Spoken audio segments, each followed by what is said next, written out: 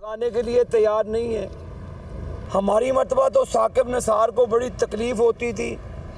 Justice खोता, खोसा के, खोता निकल गया, खोसा के।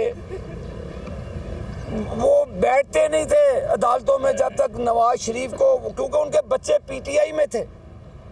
वो गैलरीज में आकर सज जाते थे मेहमानों की तरह और अपने बाप की नज़रों के नज़र बना के उन्होंने पता था कि इशारा करके कि सज़ाएँ देनी है। और जस्टिस खोसा के बच्चे गैलरी में बैठ के कोर्ट रूम नंबर वन मुझे आज भी वो दिन याद है।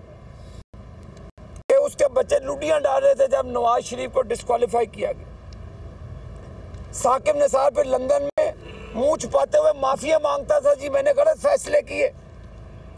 और दूसरी तरफ़ एक तो डबल शाह होता है, ये डबल नकाब वाला इमरान न्याजी है।